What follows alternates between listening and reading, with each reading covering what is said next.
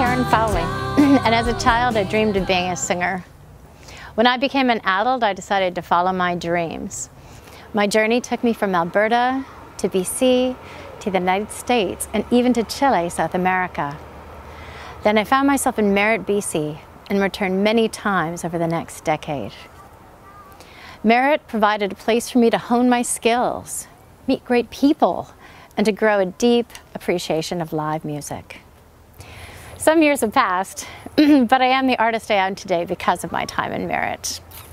I am one of many musicians that have benefited from Merritt's continued support of the arts. Please donate generously to British Columbia's Forest Fire and Flood Relief Fund.